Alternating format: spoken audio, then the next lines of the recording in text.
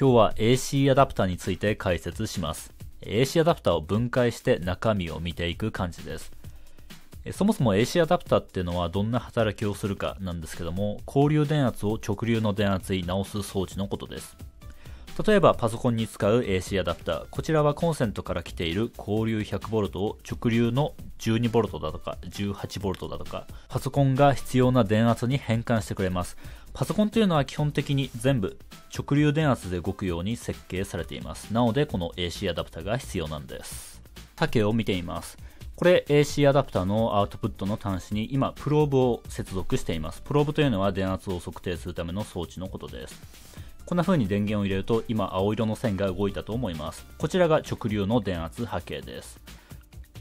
黄色の線がコンセントの電圧、交流 100V。で、そして水色の線が AC アダプタの出力電圧 19V です。実際にテスターで測ってみるとこんな感じで 19V になっています。じゃあこの電圧をどういう風に変換しているのか見ていきたいと思います。これ今分解しています。分解できました。基板全体はアルミのシールドで覆われています。これは、出力のグラウンド端子と共通の、シールドですね。で、こちらのシールドなんですけども役割がありまして、まず放射ノイズを減少させるっていう役割と、あと放熱を促進させるっていう役割があります。はい、ということで回路全体をまず見ていきます。一通り回路を見た後に、えー、詳しく、まあ、その部分部分について解説します。えまず電源ケーブルを差し込むところがありますでその電源ケーブルすぐ入った後にところに、えフィルター回路がありますこれ巻いてあるのがコイルですね。2つあります。コイルのすぐ近くに四角い灰色の箱がありますけどこちらはフィルムキャパシタです。これはフィルター用の回路として使われています。フィルター回路のすぐ横には銀色の放熱プレートがあります。これは半導体を固定するための、えー、放熱プレートですね、まあ、固定するのと同時に放熱もしています。こちらに今、えー、MOSFET があります。でその右側には全波整流用のフルブリッジのダイオードです。ダイオードを通った後に電解コンデンサーがあります。こちら 420V、120マイクロファードです。今回使っている AC アダプタなんですけども電源電圧が 240V まで対応しています。なのでこのような耐圧になっています。こちらにある丸いやつは、これは変圧器です。高い電圧を低い電圧に変換する役割があります。それ以外にも電気的な絶縁を図るという役割もあります。変圧器の一時側に MOSFET がついてて、で、それがスイッチングするんですね。変圧器の二次側にも同様に放熱プレートについた半導体部品があります。これはおそらくショットキーバリアダイオードだと思います。変圧器の二次側の電圧、交流電圧波形が出力されるんですけども、その電圧を整流する役割があります。そのさらに先には電解コンデンサーがあります。整流された電圧を平滑化する役割があります。そのさらに先にこちらはインダクターがついています。インダクターを出た先がパソコンにつなぐための端子です。まずフィルター回路について詳しく見ていきたいと思います。フィルター回路に入る前にさらに部品が2つあります。こちらの黒い箱はヒューズです。こちらのヒューズ 2.5A250V と書いてあります。どういうことかというと、電流が 2.5A まで流せて、そして定格電圧は 250V という意味です。皆さんが想像するようなヒューズっていうと多分ガラス管に入ったようなヒューズが一般的だと思うんですけども、えー、こういう風な樹脂の箱に入ったヒューズなんかもあります。ヒューズの横に緑色の部品があります。部品名としては NTC1 と書いてあります。これは NTC サーミスターのことです。NTC サーミスタの役割としては突入電流を防止する役割があります。まあ、突入電流を減らすんですね。この回路を電解コンデンサーがあります。電解コンデンサーがあると突入電流が流れます。突入電流の何がいけないかというと、まず電解コンデンサーの寿命が短くなります。それとヒューズが切れます。それを防ぐためにこの NTC サーミスターが使われます。この NTC サーミスタの特性としては、温度が低い時は抵抗値が高くて、温度が高くなると抵抗値は0になります。実際に抵抗値を測定してみました。これは室温の時、抵抗値は3.0オームでした。このように今ドライヤーで熱風を当てているんですけども、温度が高くなると抵抗は0オームになります。サーミスタを通った後は入力フィルター部分になります。入力フィルターはノイズを防ぐ回路のことです。外部から入ってくるノイズを外部から入ってくるノイズの侵入を防ぐというのとあとこの回路自体が発生するノイズを外部に流出するのを防ぐという役割があります。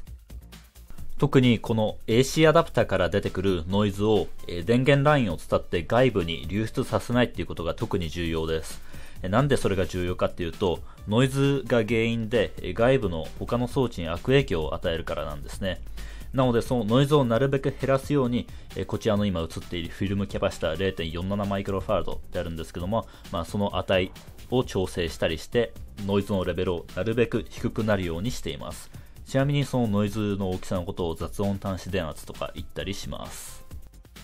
もちろんフィルムキャパシタの値を調整するだけではなくて、フィルムキャパシタのさらに後ろについているコモンモードインダクターとディファレンシャルモードインダクターっていうのがあるんですけど、そちらのインダクタンス値を変えることによってもノイズの値は、え、低減、減衰させることができます。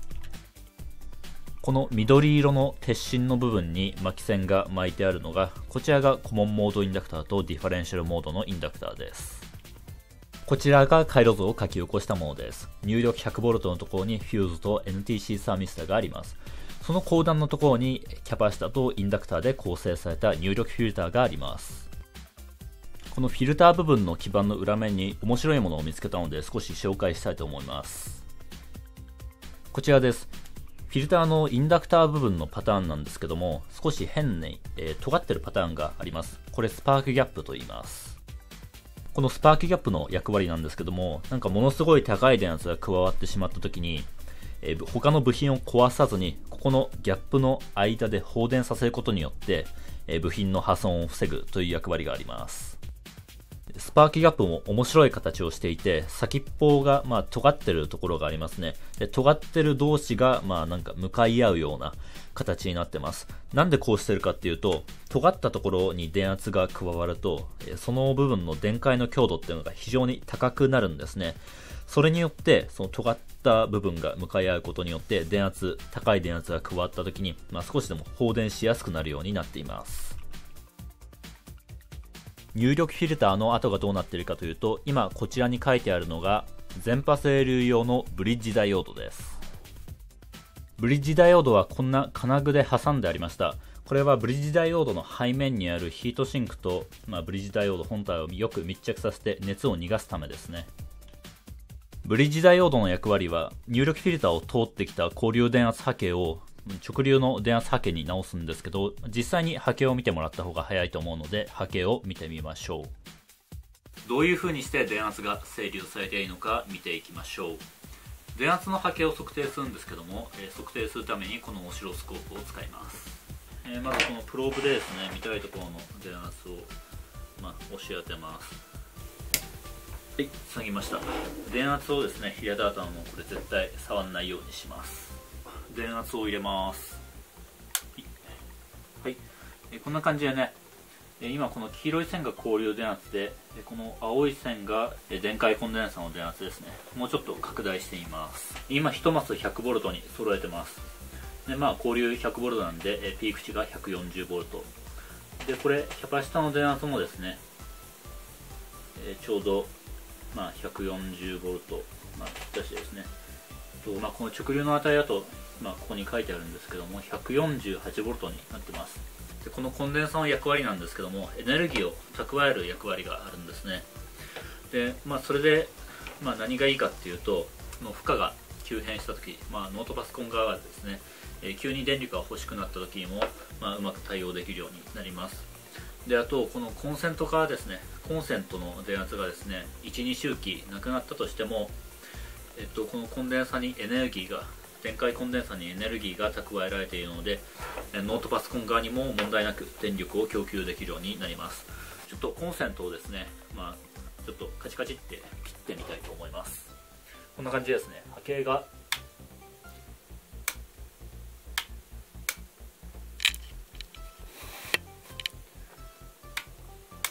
こんな感じで交流のコンセントの電圧がですね 0V になっても青のコンデンサーの電圧波形っていうのは変わってませんよねこの AC アダプターは電圧 240V まで対応しているので、実際に入力してみたいと思います。200V の電圧を。今、交流 200V を、えー、こちらの AC アダプターに入れています。こんな感じでね、今テスターで電圧を測っているんですけども、えー、AC の 208V になってますね。これ実行値です。でこちらの、えー、実際に波形を見てみるとルート2倍 208V のルート2倍ですね。280V くらいの電圧がかかっています。で、えー、直流コンデンサの電圧は今負荷が何も取ってないので、えー、綺麗まっすぐな 280V の電圧になっています。電解コンデンサーを通った後電気はどこに行くかというと今見えている変圧器と MOSFET に接続されますこれはフライバックコンバーターという変換器を構成する一部です変圧器につながっているスイッチ、この場合だと MOSFET がオンオフすることによって変圧器の一時側に電流が流れます。で、その電流がですね、変圧器の鉄芯の中の時速を変化させます。で、そうするとどうなるかっていうと、その時速を介して変圧器の二次側に電圧が出てきます。この変圧器の一次側の電圧と二次側の電圧もですね、実際に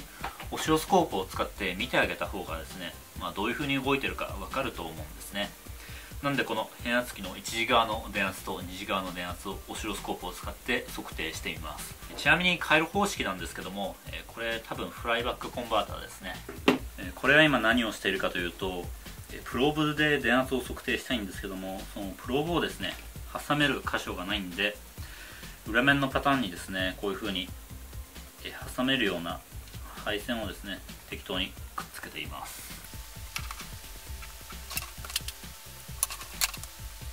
今ね、えー、適当な負荷をつないで、えー、動作させたいと思います。これは今8オームの抵抗です。それじゃあスイッチを入れます。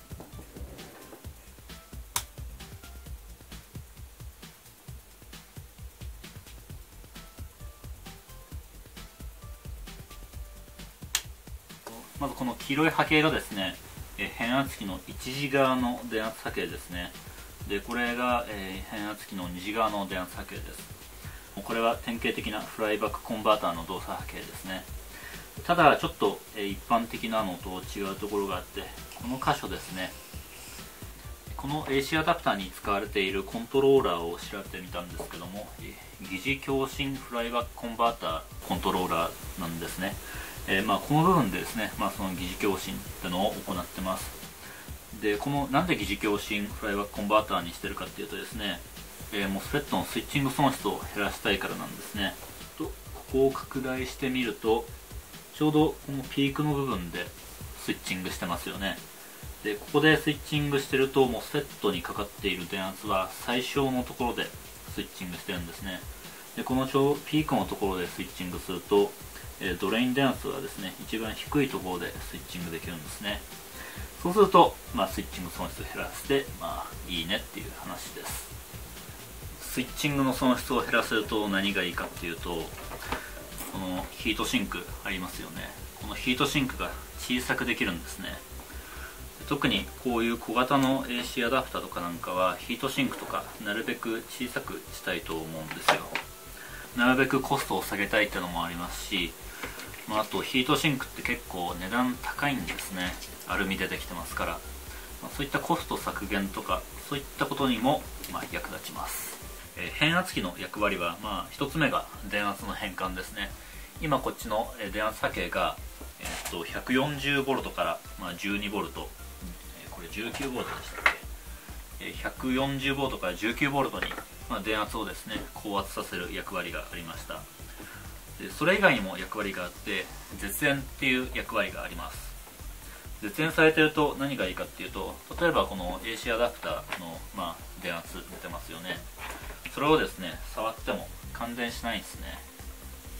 もちろんあの例えばこれこれがプラスマイナスの電極だったとして、まあ、例えばですねこういうふうに両方の電極をですね触ってればもちろん感電するんですけども例えば片一方の電極だけですね、まあ、こういうふうに触ったとしてもこれは感電しないですねなんでかっていうと電流が流れる経路がないからです変圧器の絶縁についてなんですけども、裏側を見ています。えこの基板がありまして、基板の左側に変圧器の一時側の麻痺線が出ているところがあります。でこの真ん中のところはすっぽり何もパターンがないようになっています。これは絶縁を測るためです。何も真ん中パターンがないんですけども、まあ、そのさらに右に行ってみると、変圧器を二次側の麻痺線が出ている端子があります。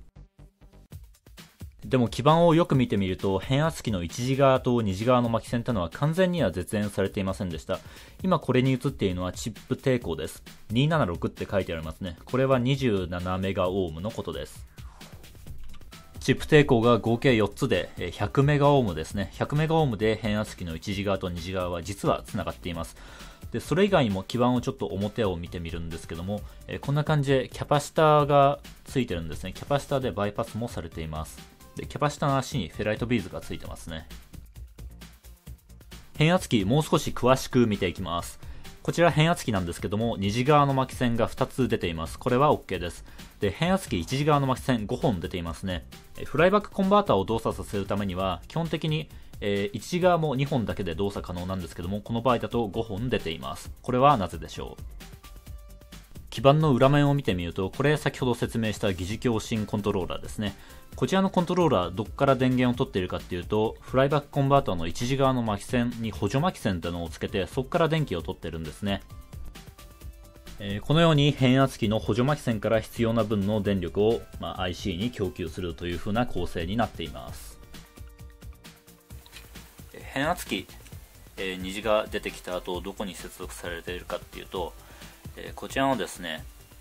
えダイオード2つあるんですけどもこちらに接続されています。ちょっとねデータシーあのこのカメラじゃ読めないと思うんですけどもこれは2並列のショットキーダイオードを使っています。でその2並列のショットキーダイオードの、えー、モジュールがあるんですけども、えー、それをですねさらに2並列してなんで合計で4並列のショットキーバリアダイオードを使って整流しています。でその整流した後の電圧はこちらのですね電解コンデンサーに接続されて綺麗な 19V 直流を得ています。でこの電解コンデンサーをですね通った後さらにですね、えっと、こちらの、コイルありますね。これは、えっと、巻き線を見てみたんですけどもコモンモードの、えコイルでした。でこのコイルを通ってですね最終的にこの、まあ、AC アダプタの、まあ、出力に電圧が来るわけです。今説明してきたのがこちらの AC アダプタの動作原理です。もちろん全部を完全に説明することはできませんが今まで説明してきたのが大まかな動作原理です。えこのコンセントから電圧をもらってきてでこの入力のフィルター部分で、まあ、ノイズを除去すると。でその後こちらの全波整流の、えフルブリッジの、えダイオードブリッジに入ってきてでその電圧っていうのは電解コンデンサーで平滑化されます、え平滑化された電圧はここのフライバックコンバーターで、え高圧とあと絶縁もされて、えこちらの、え二次側に電圧が出てきます。でその二次側の電圧はですねこちらのショットキーバリアダイオード4並列なんですけどもそちらでさらに整流されます。整流された電圧はこの電解コンデンサーで平滑化されてこのノイズフィルターインダクタを通してパソコンにつなげるようになります、えー、ということで動画のご視聴最後までありがとうございました。チャンネル登録よろしくお願いします。